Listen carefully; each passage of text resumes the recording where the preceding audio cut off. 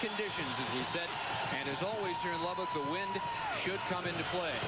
And Kevin Kordsman has us underway. This is going to be Dudley McAfee who decides not to field it. It is a touchback. And you notice right off, I'm sure the red jerseys and the black oh, pants. Boy. This being the home finale this regular season, they have decided to change up their color scheme a bit. Well, it was interesting. They came out and warmed up with the black jerseys. I was just as surprised as you were to see them. And Jamie Gill, again at quarterback, near perfect to Texas last week, including the game-winning touchdown to Anthony Manyweather. With him in the backfield, as we mentioned, James Gray needs just 32 yards to get his second 1,000-yard season. Winston, the fullback, and you saw the receivers, the offensive line led by Odiorn and Richburg on that left side. They break the I formation on first down. Hill almost stumbling on play action, has a day and a half. And the wide side of the field is open. But he's chased down and picks up only about three yards as Daryl Davis, ultra quick defensive end, a senior from Midland right there, 6'3", 257 pounds, makes the tackle. With him up front, Washington, Wyatt, and Collins. The linebackers in their 4-3, Booker, Smith, and Cauble. And in the secondary, Galaviz, McWright, Crump, and Campbell. So from the 23-yard line, the Raiders second down and seven yards to go. They have both their wideouts on the left side. They would prefer to run the ball a vast majority of the times today. And Gray powering up near the 29-yard line. That'll be close, but not quite for the first down. Galaviz brought him down. Good block by Richburg. As you look at Gray's numbers this year. Texas Tech musts for this afternoon. What are they? Well, first of all, avoid another letdown. They seem to have that big game and then all of a sudden have that letdown. Capitalize on the turnovers. They should create the turnovers and be able to capitalize on them. TCU has been very guilty of that and have James Gray gain over 100 yards. That has really been a statistic that we'll look at when he gains over 100 yards rushing. They rarely lose when that happens. Third call at two. They try Gray, second effort, he has the first down up to the 36-yard line. A fine block by Travis Price to get him around that corner. And Lavoyle Crump made the tackle on the senior from Fort Worth. You know, emotions play such a big part in it. I don't doubt that the red jerseys was, were saved until the last minute. And I'm sure that's part of Spike Dykes is just trying to get him, get his team motivated. Look what James Gray has done against TCU. That is unbelievable. 6.3 yards per carry. That's his three prior seasons. However, TCU has had an outstanding running defense this year, and they've shut down some big backs. On first down, a floater well behind the tight end Kevin Sprinkles. And it was a near interception for Ed Galaviz. Not a well-thrown ball into the wind by Jamie Gill. And that's an important point to bring up about uh, about your TCU defense here, Dave, is that they have played the run very, very well. We saw what they did against Air Force, and Air Force came into this into their game with TCU, and they were highly ranked as far as running the ball. They were top ranked. Yeah. And only because of what the Frogs did, they held them to about 230 yards, are they now behind Nebraska. Manyweather in motion on second down. Will play action. This time the pressure is there. And at the 27-yard line, he has coughed it up. And a TCU recovery. That play a big part. You do not want to give a team like TCU, when you're supposed to be the favorite, you can see Jim Wacker there, you don't want to give him the ball in this, this field position. But Gill just gets a little sloppy here. The ball gets pulled away from him. He falls backwards, and they just cannot cover back over top of it. Good charge there by TCU. Well controlled. Fred Washington stripped the ball, and Daryl Davis made the recovery. So a turnover-prone TCU sees how the other half lives. Giles under pressure from Rowe and throws to his offensive lineman as the flag goes down for grounding. Jody Morse, number 52, the center, was the nearest Horn Frog to that toss. Yeah, that def that's definitely going to be that's a that's a critical play right there. You just can't make a mistake like that. Giles under pressure just wanted to get the ball down. What you ought to do is just throw the ball down 15, 18 yards downfield as they march it back on the intentional grounding call. Intentional grounding, offense, five-yard penalty, loss of down. Boy. Offensively for TCU in the triple shoot, Giles, Jackson, Palmer, Holmes, and Foray late starting additions at wideouts. Elliott, Sullivan, Morse, Bronson, Alexander, they have really scrambled an injury-plagued offensive line today. Giles, after play action, has the open man in the middle. And the catch made by Alan Foray, a senior from Midland. He's brought down by Ronald Ferguson. And that will help the TCU cause after the penalty mark-off. Defensively for Tech, Washington, Perry, Hennington, and Mathis Mathismeyer, as has been the case all year, the front four for them. The linebackers, Weatherspoon and Derryberry, who starts for Wingo. Matt Wingo with the turf toe problem. Ferguson, Walker, Dubisky, and Saul, a secondary seeming to come into their own as the season wears on. Third down and eight for Ron Giles and the Frogs, and it is Tommy Palmer dragged down by Charles Perry. Boy, who else would you think on that front line except Charles Perry? He has just had a marvelous season. Number 74, 65 tackles. He's been in on the sacks. He's had tons of pressures, and he plays his position really well. Controls his guard, plays off him, tackles for a loss. So Kevin Kordsman will go for a school record. If he makes it, that's eight straight field goals. His last miss was in the opener at Missouri from 52. This is a 41-yarder. He has the wind behind him. And he's got plenty of leg, but he is wide right.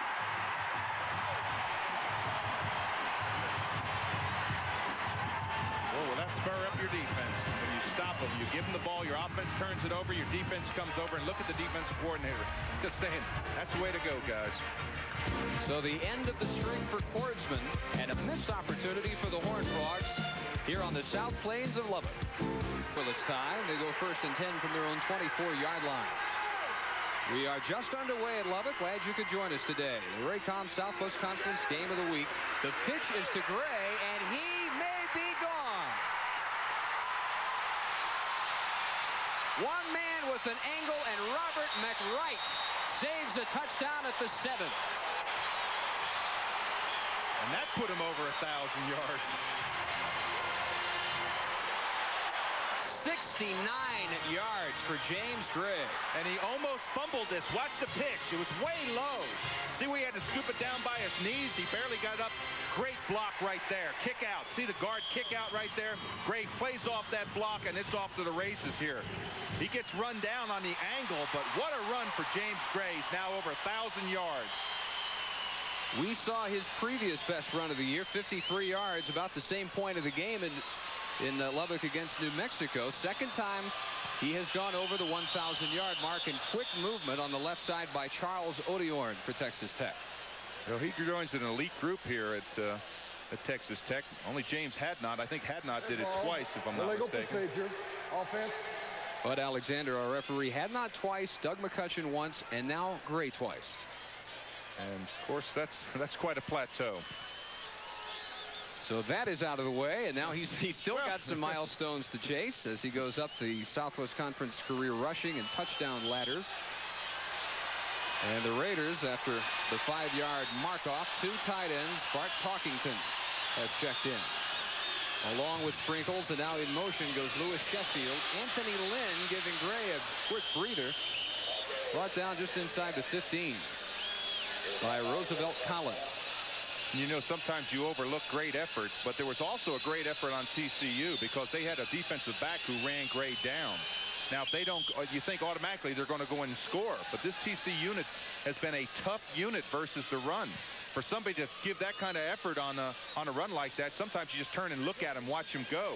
But that defensive back, and I, I didn't see who it was, ran him down, and it may be a saving tackle. Robert McWright had the late burst of speed. Second down, 15. No gain on first down. So Gray back in for Lynn, and he also is stopped at the 15. And this is why TCU had a fair amount of confidence coming into this game. They have held down the greats. Last week, Chuck Weatherspoon of Houston only 34 yards on 15 carries. And then a few weeks ago, Dee Dallas only 28 yards. That's amazing. And their defense, their defense has been a kind of a who's who. It's who's who, not hurt. They play. Manyweather and Price wide right. Sheffield in motion on third and 15. They keep it on the ground to Gray on the short side of the field. And a pickup of maybe three before Collins knocks him out of bounds. And a field goal situation after the 69-yarder by Gray set him up in great shape first and goal at the seven and you kind of go back to that great play by McWright to run him down he was the only person who had a shot at him when Gray broke through and he ran him to the sideline and played well. Of course McWright with that great speed 4.5 and a 40-yard dash he can run down a lot of guys. Jamie Simmons will hold for Lynn Elliott who has not had a good year only 5 of 12 but he has hit some long ones. This one from 29 yards angle to the right and he's good So TCU comes up empty after the fumble recovery. James Gray sets up the first score of the day for the Red to nothing after the Lynn Elliott field goal.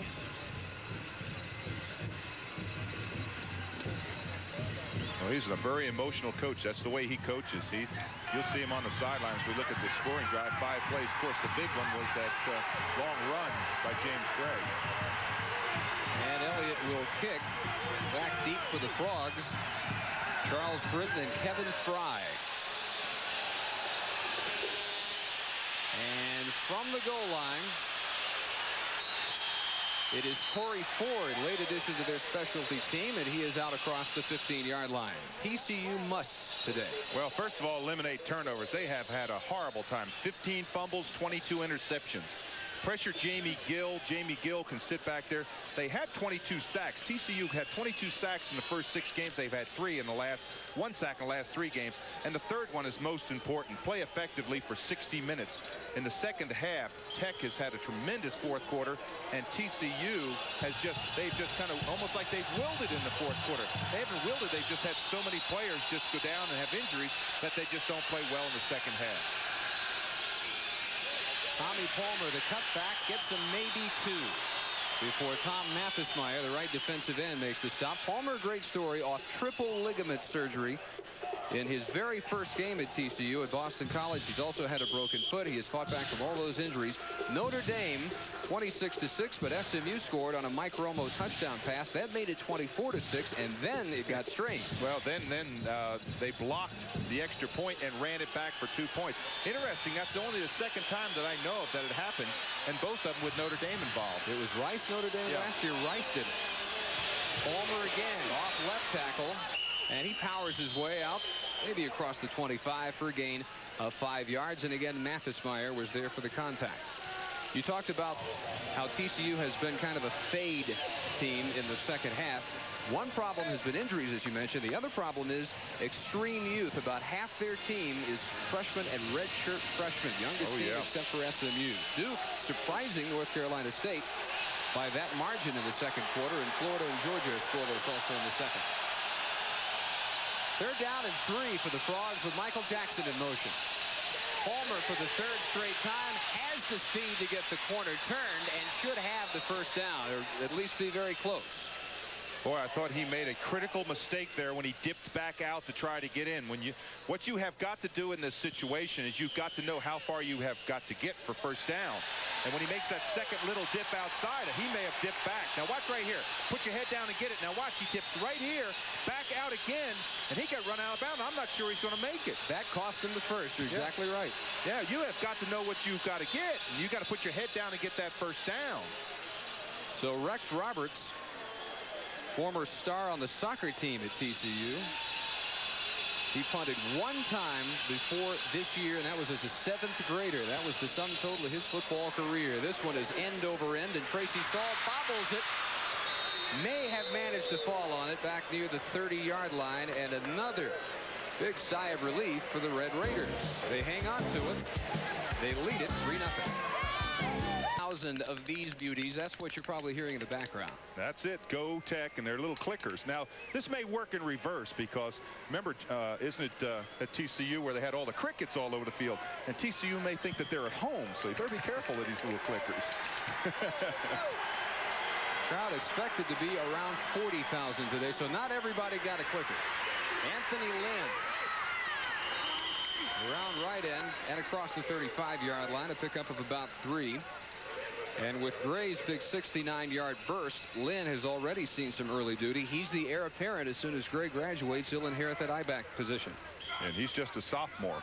And that's a nice average, four and a half yards. Of course, that's all reflective of that great offensive line that they have, that senior line that they, they play behind here at Tech. All seniors and very deep and more than a few times during the course of the game, they'll put in their second team offensive line, let them go for a while. Clifton Winston with his first carry of the day. He, like Gray, a senior. Last home game for him. He's out of Houston Smiley. And a very active Roosevelt Collins with another stop for TCU. And Collins plays this position well. Look at that. Sheds his block, closes down inside, makes the tackle. Doesn't get it, doesn't wrap him up. But when you get, you have to control that end. You have to shed that block. And he did that very well on that play. And you close from inside, from outside in from that end position. On third and five, three wideouts and no tight end as the Clickers come up in unison. And Jamie Gill again will be sacked back at the 32-yard line. The second sack for the Frogs, and Richard Booker came on a blitz from the strong linebacker position. And that evidently was going to be a quick pass, and it didn't open for him because Gill only set about four yards off the line of scrimmage. When he set back there, he set short, looked up, and then could not make the readjustment. So evidently it was a fast pass that just was covered, and he couldn't get it off. So Jamie Simmons will punt it away And the return on for TCU. This is a marvelous kick, and Mike Houston takes it back at his 15. And Dave, he did a good job to squeeze four yards out of that return. Yes, he did. That was that had great hang time. That's exactly what you want. They not only time the distance that a punt goes, the length that it goes, you hang that, you hang that, you time, excuse me, the hang time, how long it hangs in the air. And the minute he caught that ball, there were red shirts right around him. That was a great punt. So the Horned Frogs trailing 3-0, first and 10 at their 19-yard line. And as usual, three wide receivers. The hang time on that, four and a half seconds. Wow. And the toss is to Curtis Modkins. Maybe a two-yard pickup. Charles Perry, the defensive tackle, senior from Iowa Park on the tackle. And Modkins, somewhat uh, like Anthony Lynn, a guy who is really going to figure more in the future for TCU. He is a true freshman from Marlin in Central Texas. Right, and he's the kind of back that just kind of just slashes through holes. He's not that back that quickly sees the hole, makes the cut, and accelerates. He just slashes through there, and they really like his running style. Giles with the give to Modkins. And he is blasted once he got near the 25 after a pickup of three. Brian Gerlich and Sammy Walker, number 25 right there, the sophomore from McKinney. And Walker coming off maybe his best game ever as a Red Raider. He had nine tackles and two huge interceptions in Austin. You talked about huge ones. If I was watching the outside linebacker in that time close that trap, boy, I'll tell you, that, that's a play that just takes courage.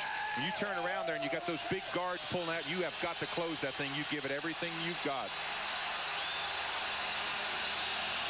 On third and five, straight drop. Giles underthrowing Michael Jackson in double coverage.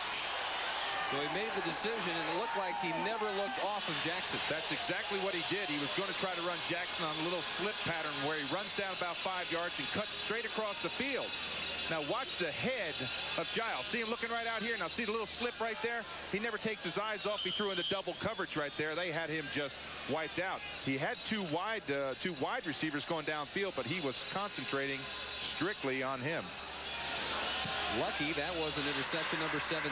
This not a good punt by Robertson. Fair caught by Brian Dubisky at the 45-yard line in the first real good field position of the day for Texas Tech to start a drive. 31 yards is it on the Rex Roberts punt. Well, we talked about Gray going up the ladder. He's already passed Ben Cowins of Arkansas and very much within reach today of Walter Abercrombie, who is number seven. And then later on, he's got two more games to try and catch Curtis Dickey. Well, you can see there those, well, all those ones that are ahead of them have all played and done exceptionally well. Abercrombie, I saw Dickey in there. They've all played in the NFL and done extremely well. And that's the caliber running back that he is. Winston, the man in motion, and Gill looking on play action to a wide open Travis Price and out of the tackle and out of bounds at the 26. Yesterday, I said yesterday to Spike, I said, how fast is Travis Price? He said, oh, probably about five seconds in the 40-yard dash. I said, oh, come on. He said, and he asked one of the players, and the player said four or five, and I thought Spike was going to die. He said, do you think he's that fast? He shows how he, he has that great speed. He has excellent hands, and gosh, he never made a bigger catch than he did in that A&M game. Two of them, two late touchdowns yeah. in their comeback. Reggie Campbell was the man who drove him out of bounds. Second big play of the day already for the Raiders. Gray looking for a block. Rolls down near the 20. And a nice six-yard pickup on first down. The block set by Charles Odiorn and the tackle by Buddy Wyatt, the right defensive tackle. And if you're a Red Raider fan, this is exactly what you want to do. You want to take and you have got to capitalize when you get good field position. TCU, conversely, did not capitalize when they got that one great field position. And it's a game of field position. The game is played. It just, you just, it takes a long time to regain that field position if you don't capitalize on it. The big surprise that Kordsman missed that field goal after he hit seven straight. Winston darting through the hole. Now outside, and he's inside the 10-yard line. Robert McWright made his second saving tackle. Winston goes for 13. And they talk about fast feet. You want to see fast feet? This is what fast feet are. It's coming right at you. Now watch his feet when he skips into the hole there and then jumps out. Now watch right here. Boom, plant and get back out. You see the move by Robert McWright. Just plant and turn right around to get back outside. But a nice move by Clifton Winston, one of the seniors, of course, in this game today. Red Raiders now first and goal, seven-yard line. This is where they started first and goal on that other drive, and then the penalty knocked them back. Sheffield went in motion, pitched to Gray. Again, the short side of the field, inside the five. And Robert McWright again was there to knock him out of bounds, the senior from Dallas Roosevelt. You know, interesting about McWright is we if we brought his name up several times on key plays. He's one of those defensive backs. He, he doesn't look big. 190 pounds. You know, you think, well, he's not that big. But he bench presses over 400 pounds. Kids want to know how to play in the Southwest Conference. You've got to be strong. One thing that says a lot about his activity, he's the third leading tackler from right cornerback, where yeah. you shouldn't get that much action. Absolutely. They're blitzing. On second and four, nailed it. Maybe for a loss of one, Sheffield.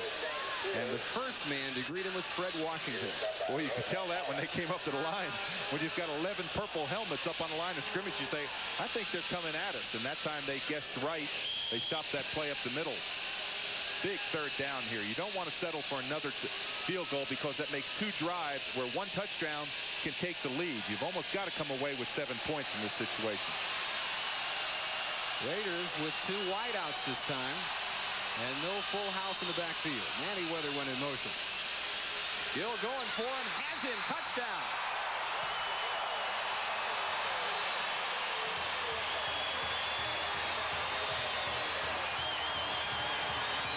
It wasn't 65 yards like last week in Austin, but they'll take it. Well, if I remember right, Manyweather is one of those walk-ons that we talked about, that we have talked about, and the crowd here loves it. On a little slant pattern right at the post, he just makes that quick break and brings that ball in. Good concentration because, I'll tell you, that's a tough pass when that Gill gets back there and just rifles it at you. Elliott has missed only one extra point, 21 of 22, and keeps that trend alive. There's Anthony Manyweather. Now watch this right across the middle. Boom. That's a tough pass. You see right there, there he comes down with it. That's the seven points, and they lead now 10 to nothing Texas Tech. Well, this is that touchdown play again. Watch Manyweather right across the there. It's a drill right to him. Good concentration right there. You want to make sure you get down with it. And we talked about him being a walk-on. They have had great success here with walk-on starters, not just players, walk-on starters. That means that you don't have a chance to play anywhere else.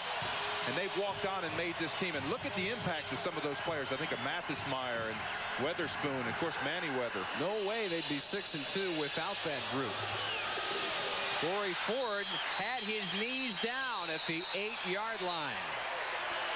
And some specialty team problems for TCU here in the early going. A true freshman from Tyler here having a hard time bringing this one in. Well, the, the play here is that he's down and touches the ball. You see right there, that's a perfect freeze of exactly what that's what the call is. He was down and touched the ball. Of course, in the NFL, you can get up and run, but not on that one. Well, the poor punt set up only a 55-yard touchdown drive for the Raiders. Third touchdown catch of the year by Manyweather.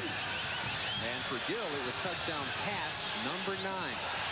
And TCU again with the fumble fingers back at the five-yard line for Ron Giles. In the Baylor game a couple of weeks ago, they had many chances, uh, but caused their own among other things, by not getting clean exchanges from center to quarterback.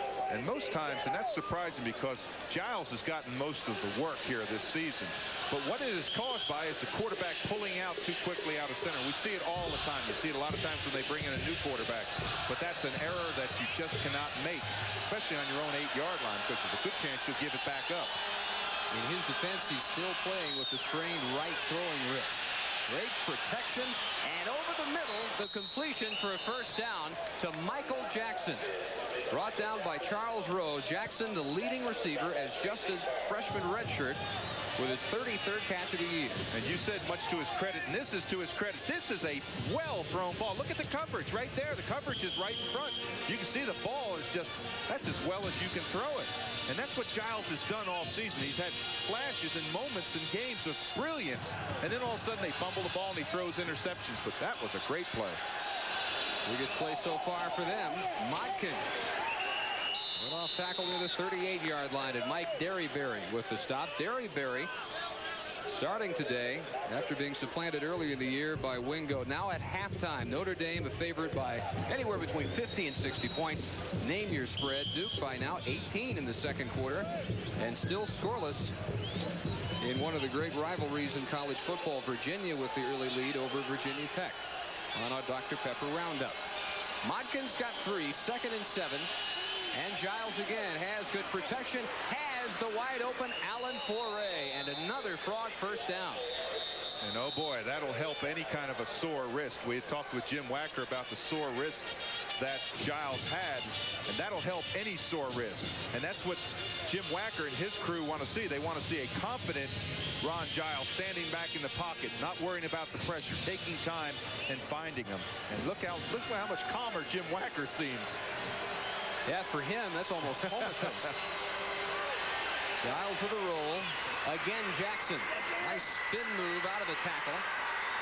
And down to the 32 and should have another TCU first down. Tracy Saul from free safety made the stop. Boy, Michael Jackson, he's one of those many freshmen that they have on this team just swings out of the backfield. Now Giles makes a better decision here, finds Jackson. Now watch Jackson when he gets the ball. Good head down, comes back around, picks up some extra yardage. Interesting, when he played at Corpus Christi, he had 1,300 yards rushing, 1,000 yards catching, and I think that was just his senior year, if I'm not mistaken. They looked at those numbers and they said this is the prototype for this triple shoot offense we want to install.